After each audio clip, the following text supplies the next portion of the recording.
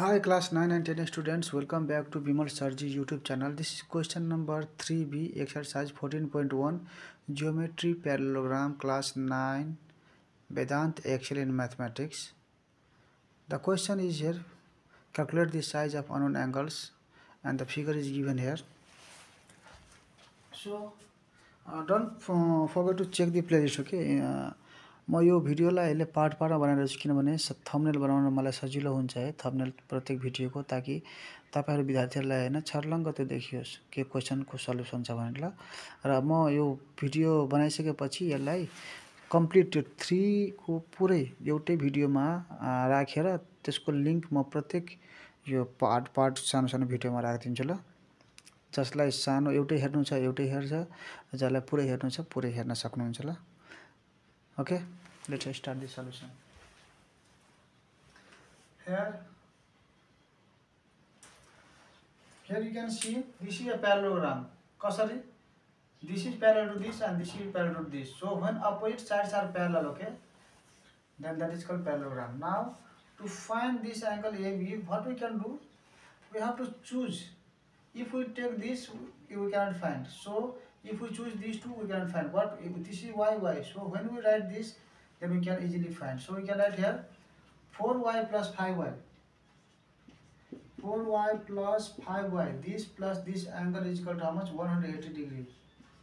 Okay, the reason for this is here PQ parallel PQ PQ parallel SR PQ parallel SR and this both sum is 180 degree. That means co-interior angles, co-interior angles are supplementary, Co-interior angles are supplementary means, okay, the sum of co-interior angle is 180 degree. Supplementary means 180 degree. So if you just write P Q parallel S R pointer angles and if you okay don't write this much यति लेख्नु भएन भने पनि हाम्रो ठिकै हुन्छ ल तपाईँको लागि हो स्टार्ट गरिदिएको त्यो सर्टकटमा तपाईँ लेख्न सक्नुहुन्छ now you can solve this this implies here four y plus five y nine y is equal to one hundred eighty degree when you solve this y is equal to one hundred eighty degree divide by this nine so nine two ज eighteen and this zero put it here so twenty degree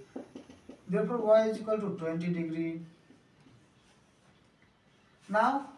we have to find 4y so 4y is equal to how much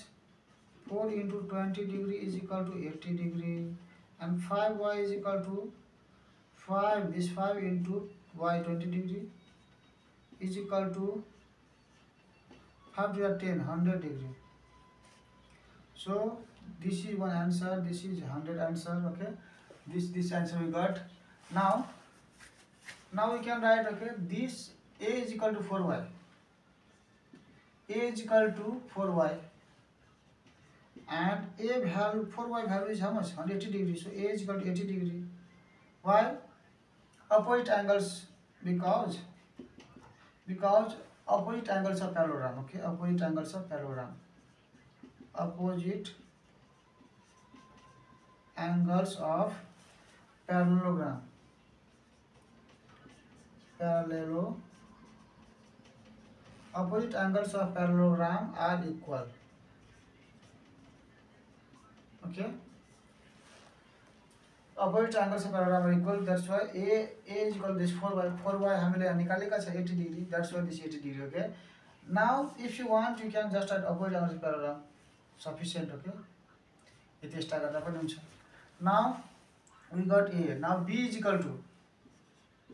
this b is equal to what 5y b is equal to 5y 5y is here 100 degree so b value we got we can write same region okay same same region copy गर्दैछ यहाँबाट ल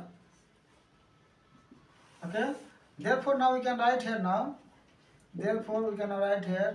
uh, in the book answer they have written they may have written के likhe लेखेको sakcha hai यहाँ हाम्रो a is equal to 4y a is equal to four y a is equal to four y is equal to कति four y is equal to eighty degree at यो answer अर्क अर्को five y this five y plus b or b is equal to five y is equal to hundred degree this is the answer okay this to final answer a is equal to let me match with book okay बुकमा equal to four y eighty degree correct and is equal to five hundred degree ल यति हाम्रो बुकको answer match गरेको छ है यो part part बनाइरहेको छु ताकि होइन मलाई थम्नेले बनाउनु सजिलो होस् ल in the next video Radhe Radhe Jay Shri Krishna